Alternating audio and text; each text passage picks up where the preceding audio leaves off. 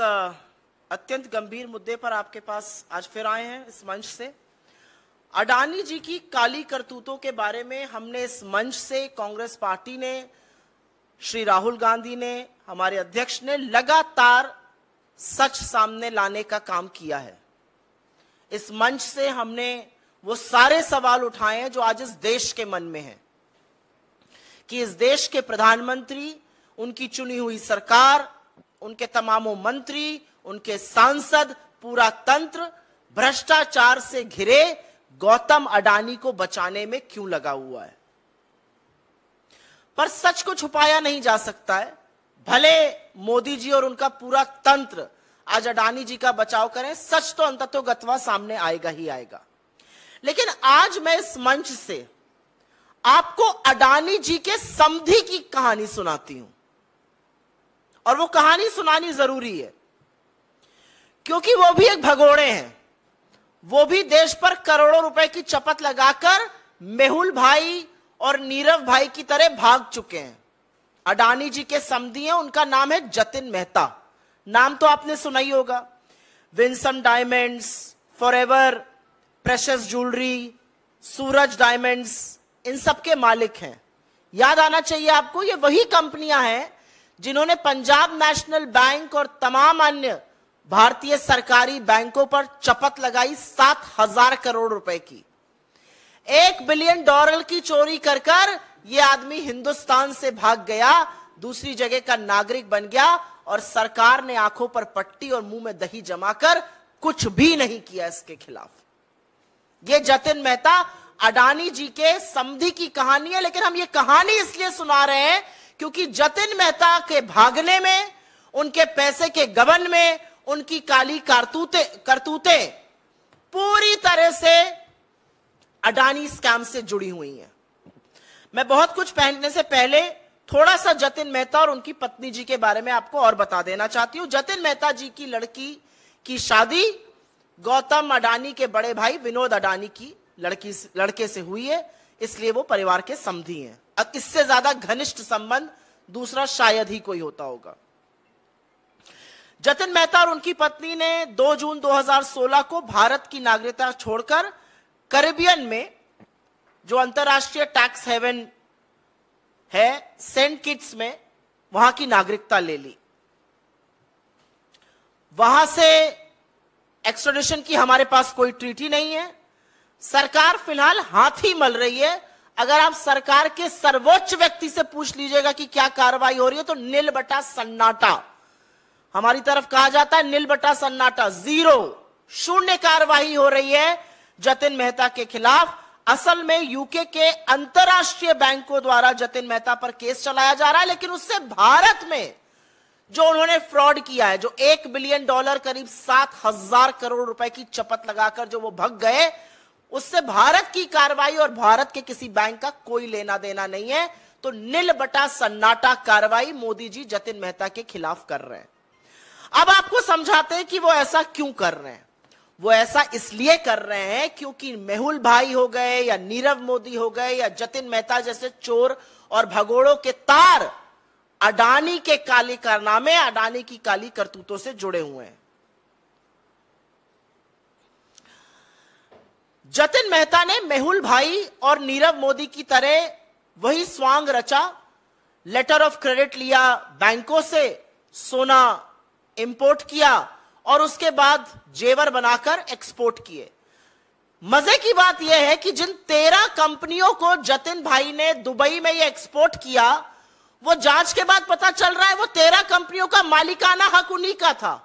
वो एक्चुअल उन्हीं की कंपनियाँ थी, उनको उन्होंने एक्सपोर्ट किया। और उसके बाद वो पैसा डुबा दिया गया। कह दिया गया पेमेंट नहीं हुआ, पैसा डूब गया। पैसा डूबा नहीं गया, पैसा डकार लिया गया। एक बिलियन डॉलर भारतीय बैंकों के, भारतीय करदाताओं के, भारत की सरजमी के एक बिलियन डॉलर सात हज़ार करोड़ रुपए पूरी तरह से डकार लिए गए। ये स्वांग रच के कि हम एक्सपोर्ट कर रहे हैं। तेरह कंपनियाँ उन्हीं की थी, उनको एक्सपोर्ट कर रहे थे। तो सबसे बड़ा मामला ये मनी स्विंडलिंग का बनता है, लेकिन ईडी भगवान जाने कहा है? समझ ही में नहीं आता किसकी तफ्तीश कर रही है। पता नहीं किस विपक्ष के पीछे पड़ी हुई है। अब आपको लेकिन सीधा तार और सीधी स्टोरी जो जतिन मेहता की अडानी के स्कैम से जुड़ी हुई है, बेनामी संपत्ति से जुड़ी हुई है, बेनामी पैसे से जुड़ी हुई है जिस पर हम सवाल उठा रहे हैं, वो समझा देते हैं। आपको अभी मैंने तेरह कंपनियों का ज़िक्र इसलिए किया क्योंकि जिससे पता चले कि उनके ऊपर किस किस तरह के मामले चल सकते हैं भारतीय सरकार के। वो कैसे चूना लगाकर भाग गए, ये समझाना ज़रूरी था, इसलिए मैंने अभी आपको पहले उनके उनके काले कारनामों के बारे में बताया। मोन्टरोसा नाम का एक कंपनियों का समूह है। ये शेल ग्रुप्स की मालिक है, मॉरिशस स्थित है। मोन्टेरोसा इसका ज़िक्र तमाम रिपोर्ट्स में भी हुआ है। इसकी बखिया भी काफ़ी अब खुल रही है, कलई खुलती जा रही है। मोन्टेरेसा समूह की जो कंपनियाँ हैं, ये तथाकथित तौर से उन शेल कंपनियों में पैसा डाल रही हैं जिनके थ्रू अडानी के पास पैसा आ रहा है। जो सवाल हम पूछ रहे हैं और जो सवाल देश पूछ रहा है। बीस हज़ार करोड़ किसके हैं? यह बीस हज़ार करोड़ बेनामी पैसा है जो शेल कंपनीज़ के माध्यम से अडानी समूह में आया है और इन शेल कंपनीज़ का मालिकाना हक मोन्टेरोसा समूह के पास है। जतिन मेहता और मोन्टेरोसा के लिंक है आपस में। समधी साहब के और शेल कंपनीज़ के जो हेड है, उनके आपस में लिंक्स हैं। मोन्टेरोसा के सीईओ और चेयरमैन के साथ जतिन मेहता कई कंपनीज़ में डायरेक्टर रहे हैं। मोन्टेरोसा के साथ चैंग ल्यूंग लिंग जिनका हमने वो जो चीनी व्यक्ति था चैंग चुंग लिंग जो चीनी कनेक्शन एक मोदी अडानी के साथ है, उस पर हमने जो बोला है, उनके साथ लिंक है। मोन्टेरोसा और जतिन मेहता का सीधे सीधे संबंध है। और इस संबंध के चलते, क्योंकि हम सवाल बार बार उठा रहे हैं कि बीस हज़ार करोड़ किसके हैं? ये जो पैसा चोरी किया गया हिंदुस्तान से, जो गबन कर लिया गया, जो डकार लिया गया, ये किसका पैसा है? ये लेकर भाग गए, इनको वापस क्यों नहीं लाया जा रहा है? इनके खिलाफ क्या कार्रवाई हो रही है? भारत के बैंकों का एक बिलियन डॉलर, उस टाइम के हिसाब से एक बिलियन डॉलर, अभी और ज़्यादा। सात हज़ार करोड़ रुपए लेकर जतिन मेहता भाग जाता है समधी साहब भाग जाते हैं, और मोदी जी कुछ करते नहीं है। और अब पता चलता है कि जो शेल कंपनियाँ लगातार अडानी में पैसा डाल रही हैं, उनसे उनके संबंध है। तो भैया, सवाल तो बनेगा ही कि बीस हज़ार करोड़ किसके हैं? ये बहुत बड़ी गुत्थी है, ये जलेबी है। और उस जलेबी को बना कौन रहा है? अडानी और मोदी जी मिलकर। और मैं इसलिए कह रही हूँ, मिलकर ये जलेबी बनाई और पकाई जा रही है, क्योंकि अगर ये जलेबी नहीं, अगर जलेबी नहीं है तो ये और क्या है? हम बड़ा आरोप लगा रहे हैं। और हर बार सवाल का जवाब नहीं आता। मैं अपनी बात को कंक्लूड करूँगी कुछ ज्वलन सवाल पूछकर। जतिन मेहता को कौन बचा रहा है? जतिन मेहता जो गौतम अडानी के परिवार के समधी हैं, वही गौतम अडानी जो मोदी जी के परम मित्र हैं, उनको कौन बचा रहा है? उनके खिलाफ कार्रवाई क्यों नहीं की जा रही है? और आप कुछ तथ्य सुन लीजिए, जिससे आप भौचक्के रह जाएँगे। सीबीआई ने 5 अप्रैल 2017 तीन साल बाद एफआईआर दर्ज करी, जबकि बैंकों ने 2014 से कहना शुरू कर दिया था कि जतिन मेहता जो है, उसके खिलाफ शिकायत करी थी। तीन साल बाद एफआईआर क्यों दर्ज होती है? कौन बचा रहा है? एफआईआर में देरी क्यों हुई? क्या कार्रवाई की जा रही है? जतिन मेहता ने यहाँ से नागरिकता छोड़ी, वो सेंट कीट्स में बस गए। उनके खिलाफ क्या कार्रवाई की जा रही है? ये तीसरा सवाल है और ये तीसरा अहम सवाल है। कहाँ है सीबीआई की कार्रवाई? कहाँ है ईडी की कार्रवाई? चौथा एक बड़ा सवाल और है। चाहे वो इकोनॉमिक ऑफेंसेस विंग हो, चाहे वो ईडी हो, चाहे वो एसएफआईओ हो, चाहे वो वित्त मंत्रालय हो, साढ़े तीन साल तक इस घोटाले में कार्रवाई क्यों नहीं की गई? सब लोग चुप क्यों रहे? क्योंकि वो गौतम अडानी के समधी हैं। क्योंकि कहीं पर उनके तार अडानी के काली करतूतों और अडानी स्कैम से जुड़े हुए हैं, इसलिए मोदी जी चुप रहे। एक और बड़ा सवाल है। विदेश मंत्रालय, गृह मंत्रालय, वित्त मंत्रालय सहित इतना बड़ा धोखा करके एक आदमी भाग जाता है। दूसरे देश की नागरिकता लेता है अपनी पत्नी के साथ। इनको एनओसी किसने दी? यह बड़ा सवाल है। ऐसे नागरिकता नहीं मिल जाती है।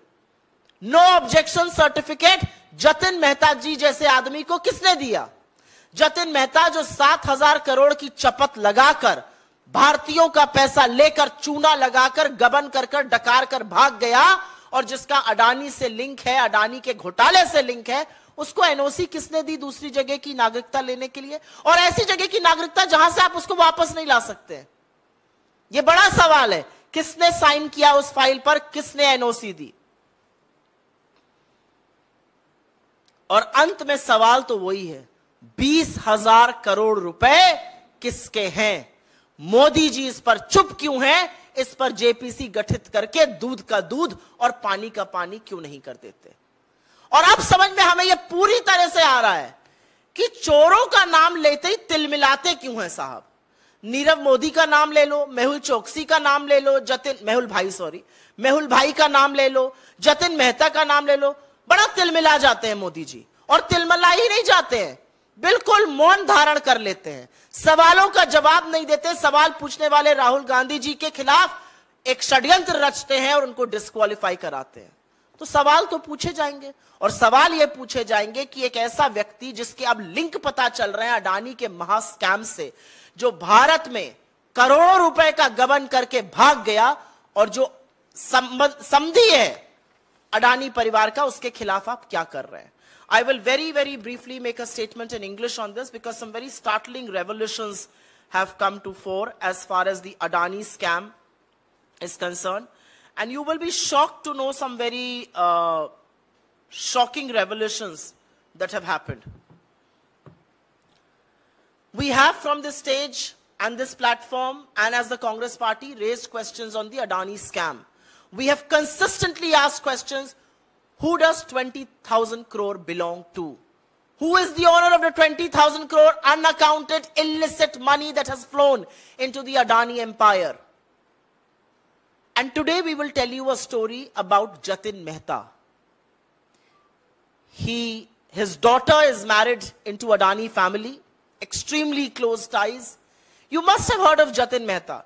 Jatin Mehta is the owner of Winsome Diamonds. He is the owner of Forever Precious Jewelry and Diamonds. He's also the owner of Suraj Diamonds. And if you remember Jatin Mehta, Jatin Mehta swindled 7,000 crore rupees of Indian banks at that exchange rate, a billion dollars, and fled this country right under the nose of Mr. Narendra Modi. He not just fled the country, he also took citizenship of St. Kitts in uh, Caribbean. And an NOC was issued by the Indian government. No effort is being made to get him back. No effort whatsoever is being made to probe him. No effort whatsoever is being made to make him face the law and the legal system of this country. But I want to emphasize on the links that exist Mr. between Mr. Jatin Mehta and the Adani scam, which has now come to fore. Jatin Mehta, as you know, and he used exactly the same route that people like Mehul Bhai or Nirav Modi used, which was to import gold on the basis of letters of credit from Indian banks. They made it into jewelry. This jewelry was then exported to Dubai. It's shocking that the 13 companies to which this jewelry was exported in Dubai were eventually all owned by Jatin Mehta and his family.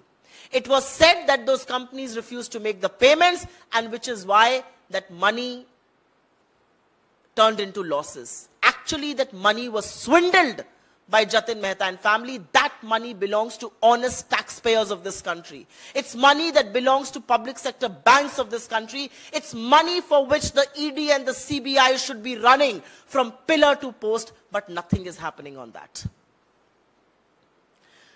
The bigger story here, however, is that Jatin Mehta has a direct link to the Adani scam. There is a group of companies based out of Mauritius allegedly the owners of the shell companies that are pumping in money into the Adani group by the name of Monterosa. Jatin Mehta has direct links with Monterosa. In fact, Monterosa's chairman and CEO served as director in three companies alongside Jatin Mehta. Monterosa also has links with Chang Ching, Chang Chung Ling, the Chinese suspicious national who is a part of the Communist Party of China and who've been talking about very frequently. But the question is, why is the government not acting against these fugitives? Why is the government not acting against people like Jatin Mehta or Mehul Bhai or Nirav Modi? Where has that probe reached? And which is why we are only raising some relevant questions. Who is protecting Jatin Mehta? Why is the might of the Indian law not chasing him? What about the EOW, the SFIO, the CBI, the ED? Why are they not probing him? Why was an FIR registered three years, over three years, after the banks first said that Jatin Mehta is defaulting and he could be swindling money? And more than anything else, on 2nd June 2016, when the Prime Minister was Mr. Narendra Modi, right under his nose, Jatin Mehta and his wife took the citizenship of St. Kitts in the Caribbean. Who gave him an NOC? Who gave him a no objection certificate? Why was that no objection certificate issued to a fugitive who had swindled Indian money? And who, of course, now has direct links to the Adani scam? Because there are direct links between Jatin Mehta and Monte Rosa, will the Indian government now probe Jatin Mehta further? And the eventual question is, who does 20,000 crore belong to? Where is that unaccounted Benami money coming from? Who is the owner of 20,000 crore rupees? And we of course now understand that why does Mr. Modi get so unnerved each time we talk about swindlers and fugitives like Nirav Modi or Mehul Bhai or Jatin Mehta? Because they are all eventually linked to his best friend Gautam Adani. They are all eventually linked to the scam the biggest scam that has unfolded in the history of India, which is the Adani Gate. He refuses to answer questions on Adani. He refuses to answer questions on Nirav Modi, on Mehul Choksi, on Jatin Mehta. But through a conspiracy, he will disqualify Rahul Gandhi. The reality is that these are, these are proofs before Indian institutions, Indian agencies. When will they act? That's the question.